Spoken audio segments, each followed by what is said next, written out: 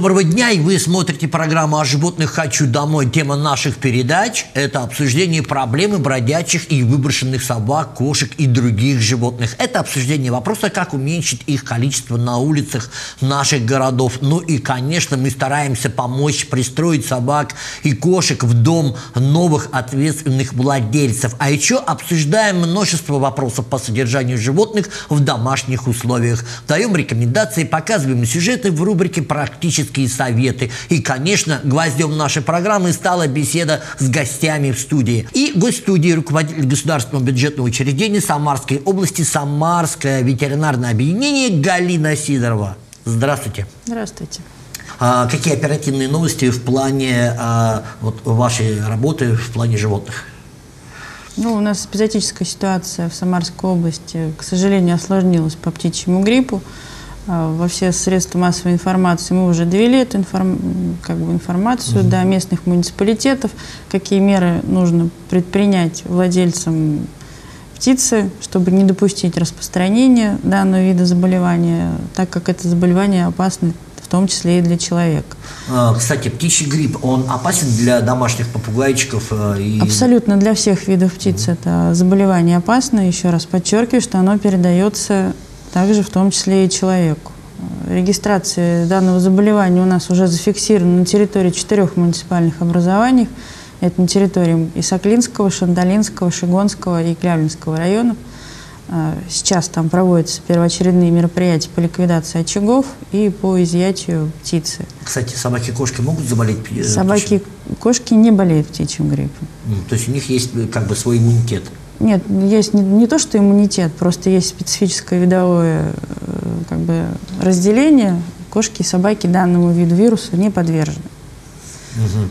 А как на человека может, на человека может отразиться заболевание птичьим гриппом? Что это, это очень такое? опасное заболевание, которое приводит к пневмонии, может привести в том числе к летальному исходу.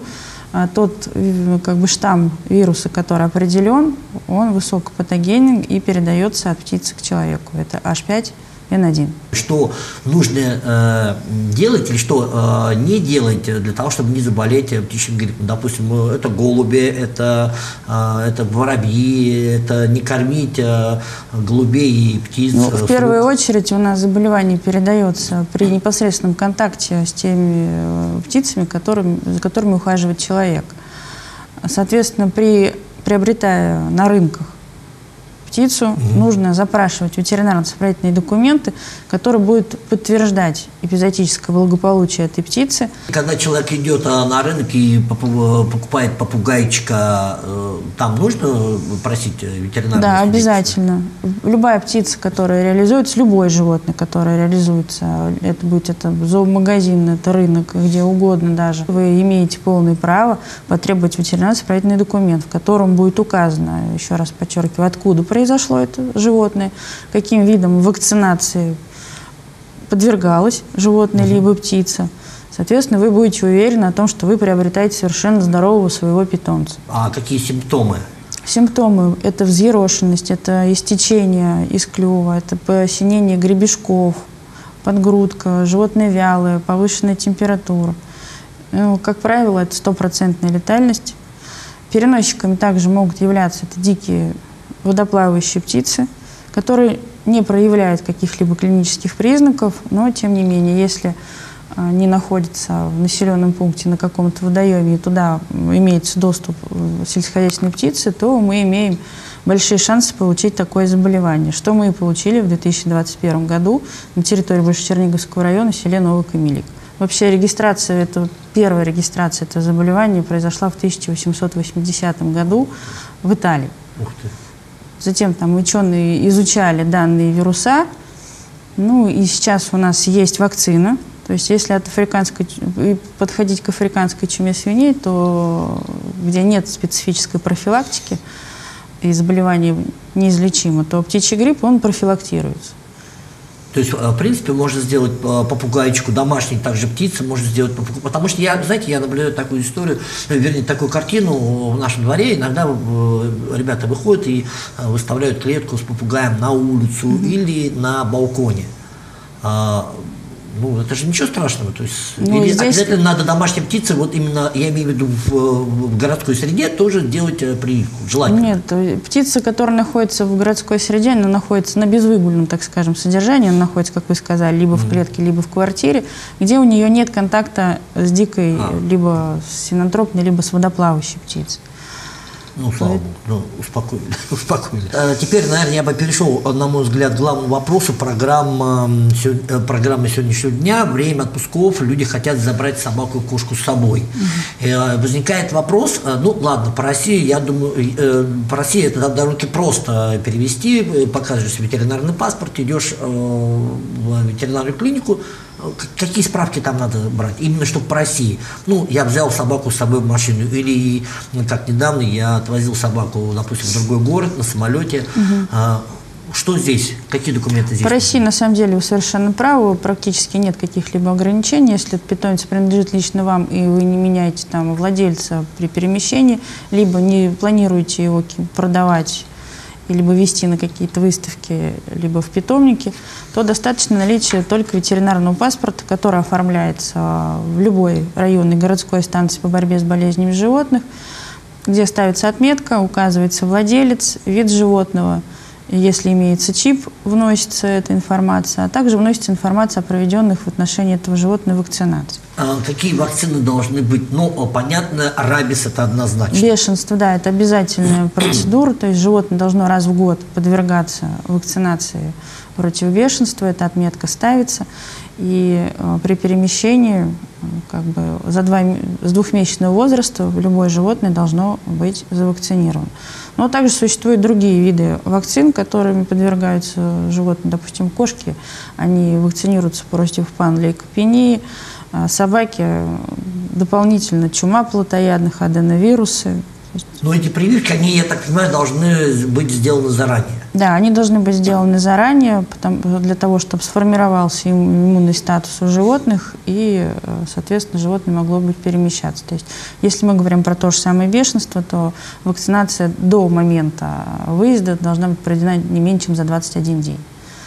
Вы... А вот что касается, э, допустим, э, человек захотел купить щенка, он звонит, а, находит его в другом городе, угу и обычно всегда где-то в два месяца стараются забрать щенка. Что им стоит э, забирать его в два месяца? Или все-таки стоит поговорить, чтобы люди, у которых это щенок, э, сделали э, прививку рабиса от бешенства? Но ведь там же есть все-таки, опять же, как минимальный срок, насколько мне известно, когда можно делать прививку от бешенства щенку. Да. Как таких случаях? А, если животные находят, ну, мы говорим про щенков, допустим, это какой-то либо питомник. Почему не отдают за два месяца? бешенство – это бешенство. Во-вторых, эти животные еще как бы, они находятся с э, мамой, угу, угу. происходит кормление, то есть еще у животного имеется кластральный иммунитет, который передается от родителей. И по истечении двух месяцев нужно привить, угу. Либо же делается отметка о том, что животное не привито, но при этом оно должно по приезду в другой там регион быть поставлено на карантин, в отношении него уже быть проведены как бы профилактические мероприятия. То есть, э, в По России все не да, так сложно. Да, да, да. Раньше, потому что я буквально сам сталкивался где-то в 2015 году, я пытался вывести щенка где-то в два с половиной месяца, но и ко мне подошли, говорят, а где прививка? Я говорю, знаете, За 21 ну, день. То есть ну, здесь уже... как бы не делается прививка, по-моему, насколько я знаю. Да, до двух месяцев. То есть вы можете, но вы берете как бы на себя ответственность о том, что животное может у вас уже погибнуть. Угу. Потому что будет контакт, здесь он находится в своих определенных условиях содержания, кормления, а вы его перевозите, он попадает в другую среду, и возраст не подходит еще под вакцинацию, поэтому желательно, конечно, соблюдать все э, сроки по наставлению, по применению вакцины. Итак, предлагаю прерваться, посмотреть видео визитки. Две собаки и две кошки ищут новый дом. Симпатичная мордочка, разный цвет глаз, один карий, другой голубой. Похоже, что один из предков был или была чистокровная хаски. Попал в приют пару лет назад. Долго скитался недалеко от приюта по трассе, пока совсем не исхудал, не ослаб и сказал, я больше не могу, заберите меня к себе Так и живет у нас уже больше двух с половиной лет. Эту собаку готовы отдать человеку, который будет с ней регулярно гулять, бегать и для начала, чтобы он был совсем послушный, немного позаниматься. Абсолютно спокойно, со всеми контактный, а, всегда готов к общению. То есть у хаски у них в принципе нет агрессии а, к людям, это единичные случаи, поэтому можно взять даже в семью с детьми. Этому псу около трех лет у него есть возможность стать другом семьи. Обратите внимание на этого пса по кличке Рики и заберите его домой. Обращаться по телефону 8 927 206 11 61.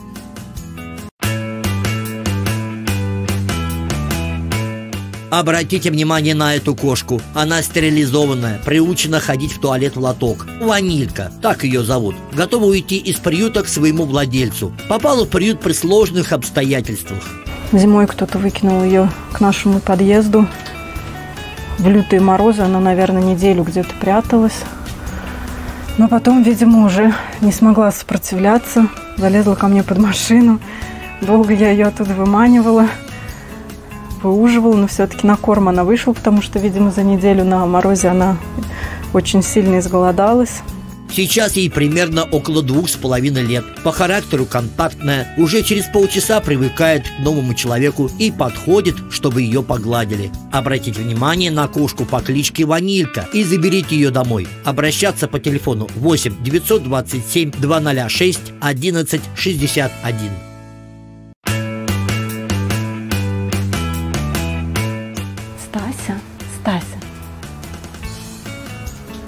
Это наша мама-героиня. В том году она была выброшена с котятами, со своими. И получилось так, что в наш приют поступили еще котята, и она одновременно выкармливала 19 котят. Она молодец. Она вытянула из себя и своих, и чужих, всех понемногу. Девочка очень своенравная, к ней нужен определенный подход, контакт ей нужен дозированный. Ну, будет очень красивым дополнением вашего дома. И со временем, я думаю, будет очень хорошим другом. Да, Стась? Стася. Она очень аккуратна в выборе людей, не всем доверяет, но готова идти на контакт.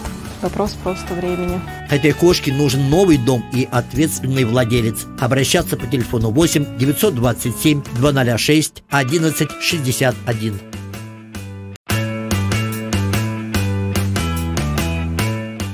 Эту собаку зовут Герда, на вид очень похожа на Алабая. Попала в приют чуть меньше года назад. Бегала вдоль трассы в районе дачного массива поселка Спутник. Поначалу не давалась в руки, но через пару недель поняла, что в приюте кормят. В принципе, очень контактная собака, очень хорошая охранница, сможет сидеть на цепи, сможет сидеть в вольере и при желании сможет жить в квартире. Она очень спокойная, то есть а, нету а, никаких там поползовений, что-нибудь сгрызть, съесть, готова обучаться, а, хороший компаньон. Обратите внимание на Герду, она готова уйти из приюта. Сейчас ей около трех лет, но убедительная просьба, если вы возьмете ее, не сажайте бездумно ее на цепь. Герда достойна, чтобы с ней позанимались, и она будет очень послушной собакой. Обратите внимание на эту собаку и заберите ее домой. Обращаться по телефону 8 927 206 1161.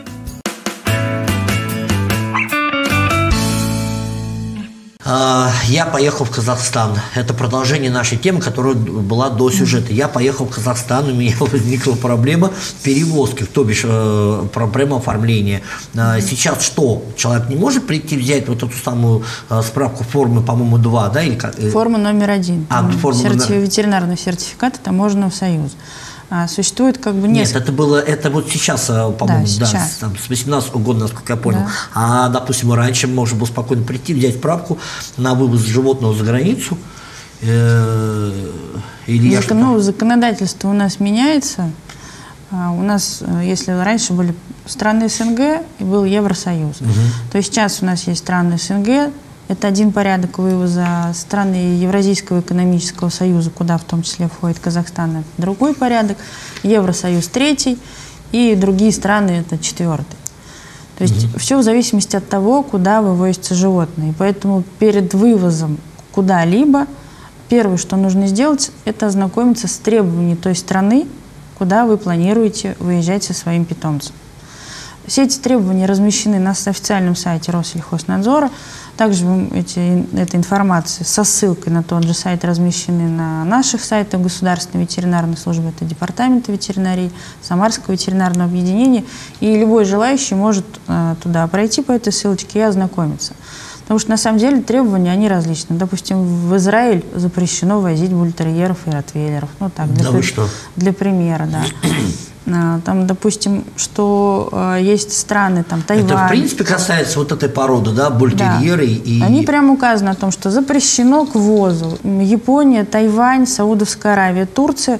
У них есть обязательные условия о том, что мало того, что ваше животное должно быть завакцинировано, оно также должно быть происследовано напряженность иммунитета через 21 день после введения вакцины, для того, чтобы понимать, что действительно животные иммунные. И только после этого в эти страны вы сможете завозить данных видов животных. То есть я должен еще э, провести вот этот анализ э, по поводу иммунной системы, да, как она отреагировала на вакцинацию, да? да? да. И, но это проводится здесь, я могу провести, допустим, в Самаре? Нет, и... в Самаре, к сожалению, такие виды исследований не проводятся. Это проводится в референтных центрах Россельхознадзора. Угу. Это в Москве, в, в ГНКИ, в НИИЗЖ. Они эти исследования, да, они проводят. То есть если вы туда, и вот я еще раз, Япония, Тайвань, Саудовская Аравия, Турция, вот это их требования. Без этого а, вас просто на территории этих стран со животными не пропустят. То есть, получается, мы берем биологическую пробу, то есть мы берем кровь. Вы обращаетесь либо в э, государственную ветеринарную службу, либо в какие-то клиники вы обращаетесь. То есть это должен а, пробу отобрать именно ветеринарный специалист, оформить и направить уже, соответственно, сопроводительный документ, в котором будет указываться цель, назначение проведения этих исследований. Mm-hmm. Вот, ну, конечно, уже за счет владельца это все производится. Mm-hmm. Именно то есть ему не надо ехать, я, я о чем? То есть ему не надо брать собаку и ехать куда-нибудь там в Москву, там, Нет, не знаю, это возможно отобрать здесь, ага. при консультации, так скажем, госветслужбы, либо производственных ветеринарных врачей. Они расскажут порядок перевозки, при какой температуре, отберут этот материал и его возможно туда отправить. Следующий вопрос. Что за система Меркурий? Э, вот эта система, насколько я провел опрос среди кинологических клубов, в общем-то, многие говорят, что неохотно люди регистрируются или не хотят, или просто нет времени, или считают, что очень сложно. И вообще, нужно ли это э, человеку, допустим, мне, как э, частному лицу, как владельцу собаки или кошки, э, собаки, которую я вывожу на выставку в другую страну, скажем, вот сейчас это Казахстан у нас. Вот, нужно ли мне и регистрироваться в этой системе? Да, это обязательное условие. Компонент Меркурий входит в Федеральную государственную информационную систему ВЕТИС. Администратором этой системы является Россельхознадзор. И создана эта система именно для обеспечения прослеживаемости всех товаров, подлежащих Госветнадзору, по территории как Российской Федерации, так и ее за пределами. Без а, системы Меркурий невозможно оформить никакой ветеринарно-сопроводительный документ. То есть это, э, это обязательно вот это ввели совсем недавно, ну, скажем, года два или три. Нет, система Меркурия у нас работает уже с 2014 года, ага. просто были переходные моменты, а она до сих пор обновляется, до сих пор туда вносятся определенные моменты, которые позволяют обеспечивать более четкую прослеживаемость всех товаров, в том числе и животных. Вот э, хочу э, прервать, потому что э, подошло время к сюжету, но мы обязательно продолжим э, по этой теме, потому что очень интересно на самом деле. Вот. Итак, время посмотреть сюжет из рубрики «Практические советы. Учим сидеть собаку на водной доске САПе».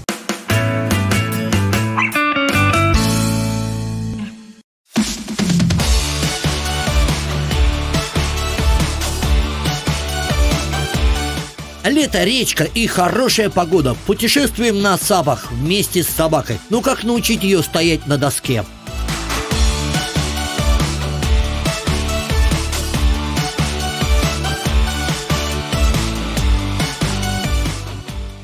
В одной из наших программ мы рассказывали о том, что собаку можно брать с собой, а, путешествовать а, куда-нибудь в дальние края. Ну а что делать, если хочется взять собаку э, здесь с собой, ну, скажем, на, покататься на лодке или вот на такой доске? Вы знаете, э, как оказалось, ничего сложного, самое главное желание и терпение ваше.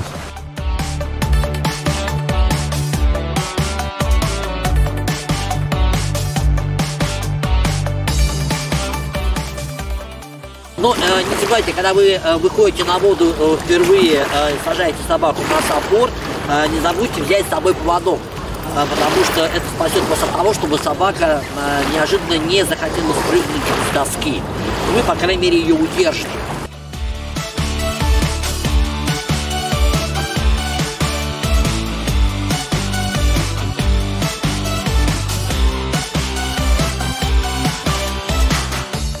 Однако с помощью поводка не всегда можно удержать собаку на доске. В этом случае лучше пускай плывет в сторону берега, нежели ловить поводок и собаку и тоже упасть вместе с ней с доски в воду.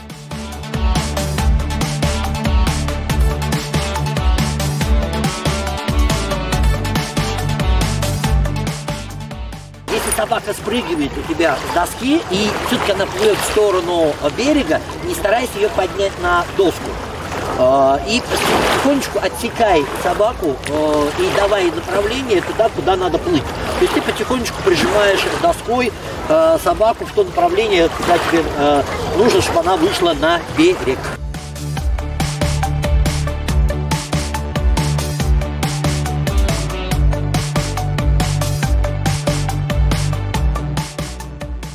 Примерно 10-15 минут и собака привыкает к качке и движению доски по воде, а вот где пес расположился, поначалу это не важно. Собака выбирает э, себе положение удобное для себя. А, естественно, вот ей было спокойнее поднырнуть под хозяйку и наблюдать э, со стороны за происходящим за всем. Вот. Хорошо. Вот. Ну и другое дело, когда вы берете с собой в путешествие маленькую собаку. На доске она будет чувствовать себя очень комфортно. И э, времени для того, чтобы приучить ее стоять на доске, ну, уходит не так много.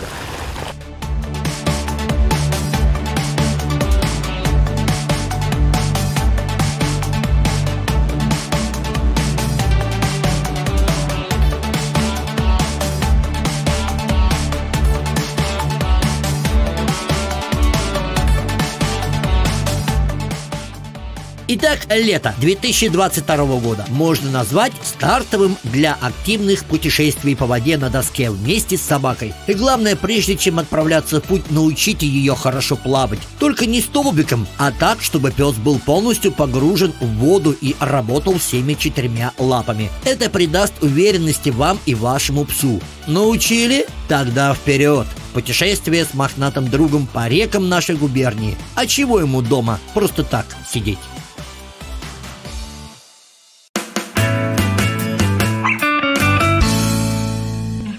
Самом деле не так сложно оказалось учить собаку сидеть на доске, и самое главное, им это, оказывается, нравится. Итак, система Меркурий та же самая, как и система Аргус, да, так понимаю, еще одна система. Вот э, человек заходит в, в эту систему, и что дальше-то ему делать? Существует э, система Меркурия, о чем мы говорили, это как раз по оформлению ветеринарно-исправительных документов. А чтобы оформить этот документ, нужно еще зарегистрироваться еще в одной системе, называется она ЦЕРБЕР. Это регистрация хозяйствующих субъектов и площадок, на которых это, вот они как осуществляют... Я частное лицо это должен да, сделать? вы как частное лицо обращайтесь, вы можете это сделать сам, угу. сами пройти э, на сайт Россельхознадзора, выбрать информационную ссылку информационной системы, там откроется э, 12 этих систем, в том числе Меркурий, Аргус и Цербер, о чем мы с вами говорим. А, существует как бы подразделение, что это государственная ветеринарная служба, это территориальное управление Рослехознадзор и хозяйствующий субъект, ну, коим в данном случае являетесь вы. Вы проходите по этой ссылке, можете лично пройти, ознакомиться и зарегистрироваться сами. Все это на самом деле займет у вас не более 10 минут. Угу. Вы укажете свою электронную почту, и вам на адрес электронной почты придет логин и пароль. А, с этим логином и паролем вы сможете потом в дальнейшем при обращении опять в государственную ветеринарную службу, мы вас уже увидим о том, что вы зарегистрированы.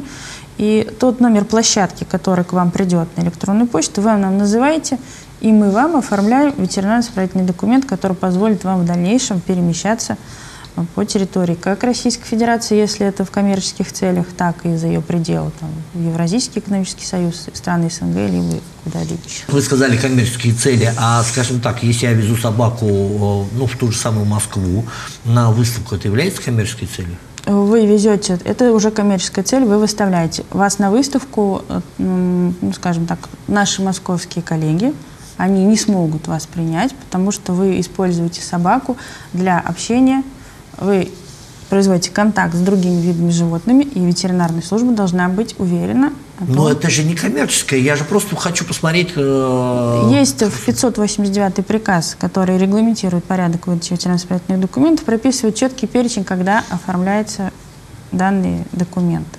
Если вы вывозите на выставке питомники угу. с коммерческой целью, с целью реализации, вы оформляете документ. Если вы везете для своих личных целей, на постоянное место жительства, погулять с собакой в Москве вы захотели по Арбату, то тогда вы не оформляете документ, вам ну, только наличие паспорта.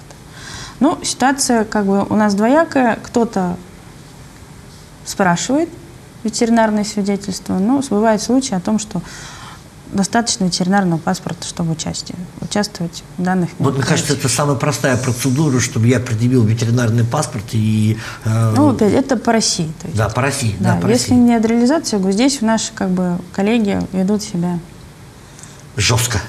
Да. Скажите, пожалуйста, все-таки для чего эта система нужна? Она помогает что сделать? А, система Меркурий, так же как система Цербер и Аргус, они нам помогают обеспечить эпизодическое благополучие и Вот я именно хочу э, да, вот обратить ваше внимание на то, что все-таки и внимание зрителей, э, пожалуйста, обратите вот э, пристальное внимание вот на эти правила, потому что все-таки они нужны, нужны для того, чтобы... Чтобы обеспечить эпизодическое благополучие, чтобы все животные, которые у нас перемещаются по территории, еще раз, как Российской Федерации, тем более за ее пределы. А, мы были четко уверены, что они у нас подвержены всем вакцинациям, и что при выезде из той же самой, въезде, вернее, из той страны, где вы отдыхали, так как наше животное было подвергнуто всем профилактическим мероприятиям, не будет подвергнуто какому-либо заболеванию и не привезет это заболевание на территорию Российской Федерации. Вот смотрите, я вошел в эту систему, и э, там все данные остаются прям надолго, или там есть какие-то временные да, да, рамки? Это все остается на протяжении трех лет. Вы видите это в реальном времени, а потом это все уходит в архив, и при желании вы можете это все увидеть также. То есть угу. Все ветеринарные свидетельства, которые у нас сформированы в системе Меркурий, э, с 2016 года, так скажем, стало массовое внедрение данной угу. системы, они у нас все есть, мы все имеем пользуемся, отвечаем на запросы, в том числе в случае возникновения какого-либо заболевания мы проводим также анализ, это наша обязанность. Угу. Мы смотрим по тому же самому Меркурию, какое количество, откуда, что пришло в адрес данного хост-субъекта, чтобы понимать, откуда угу. все-таки источник заболевания. Спасибо большое. Я считаю, это очень важная тема, потому что, ну, реально, буквально там, я не знаю, в течение месяца мне пришлось столкнуться а, где-то раз пять. Именно обращались люди, куда бежать. Я хочу выехать, допустим, тот же самый э, угу. Казахстан, увозят собак с собой в Армению. И, естественно, чтобы вы не попали в какой-то просак, я думаю, да, надо, надо, необходимо зарегистрироваться вот в этой системе, системе Меркурий, вот, системе Цербер, да, вот, Цербер, и, Меркурий, да, и, и Аркус. Выехать, э, допустим, в Евросоюз не получится без произведения чипирования животного. Да, да, да, да. Здесь тоже есть определенный момент и требования Евросоюза, что сначала должно быть провести чипирование животного, и только после этого вакцинация против бешенства. Спасибо большое, спасибо. Ну что же, к сожалению, мне приходится констатировать, что время нашей программы завершилось. Спасибо за интересную беседу. Ну а мы говорим вам до свидания, берегите животных и будьте ответственными к их содержанию и жизни.